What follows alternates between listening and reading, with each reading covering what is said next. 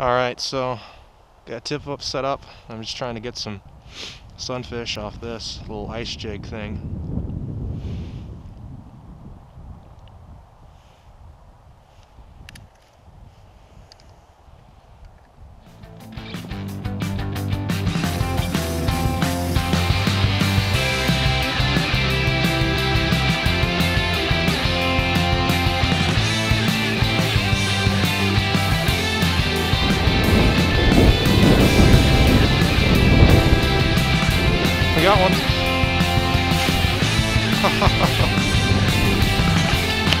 Here we go.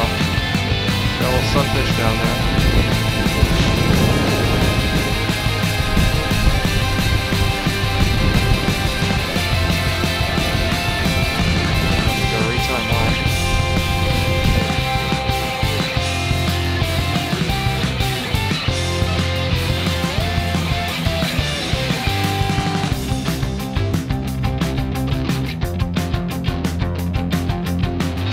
Two over here.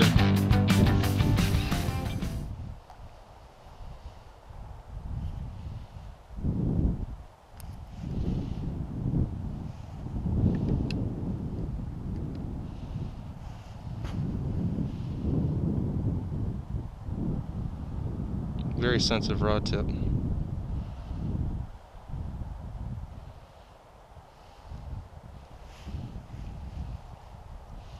Oh, lost the thing.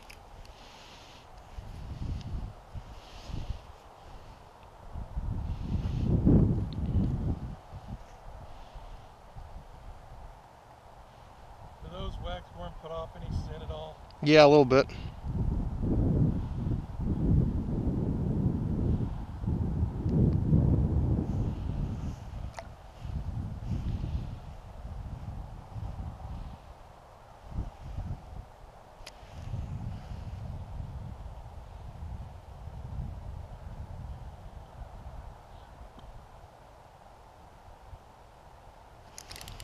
Here we go. Oh, I lost it.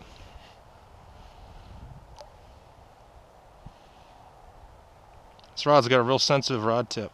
Yeah.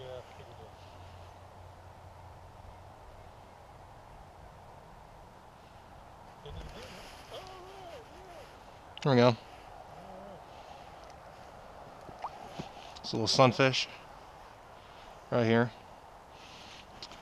I'm put some of these in my bucket to use as bait later if we run out of some of those things.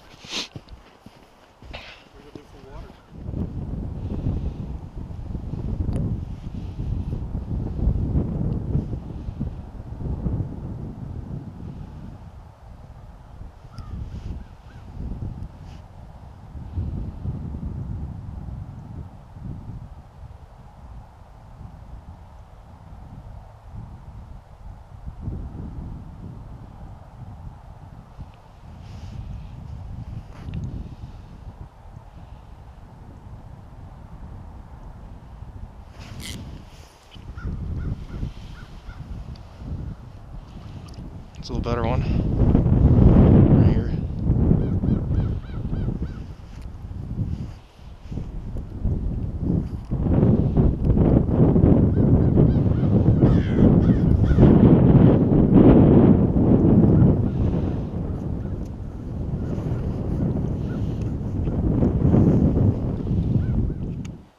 Alright, I've got two bass setups going on right now.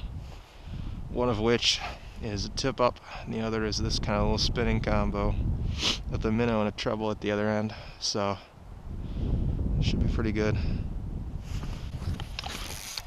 There we go. Big bass.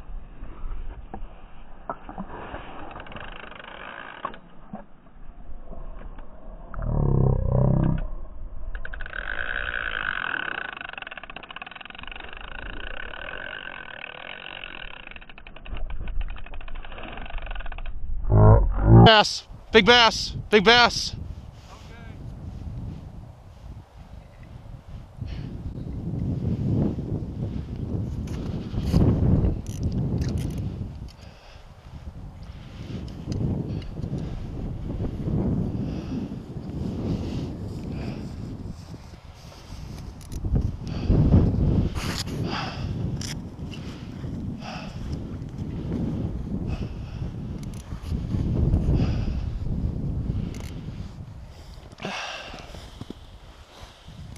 Be ready.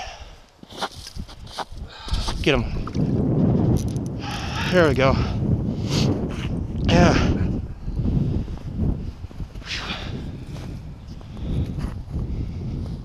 Yep. Barely. I just saw it take off. I was actually talking about the rig and then it took off. Thought you have like worms on the treble. Nope. I had a shiner. I put on the treble. Oh, okay. Okay. So, yeah. All right, guys, I'm releasing him. There he goes. Yeah, first bass of the year. I thought, geez, oh Pete, because it started. I was talking about. I was gonna say I could see every little nibble on it, and then it just went. whoosh. Uh huh. I was like, yes, I got it. Draw off your hand. I do. Yeah, just put it in there. Amen. All right. Cool. Wasn't hooked very much. No. Well, I didn't let him have it for very long because I was shocked. I was like, that. Because I didn't want it to happen like last time.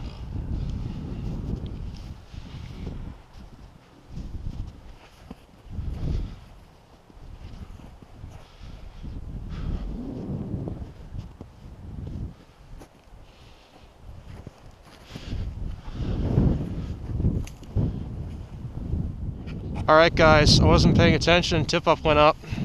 First bass from a tip up I've ever caught. Right here.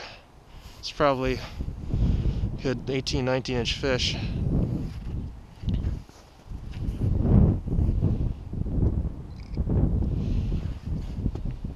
Second. Almost out of battery. Right there. Holding.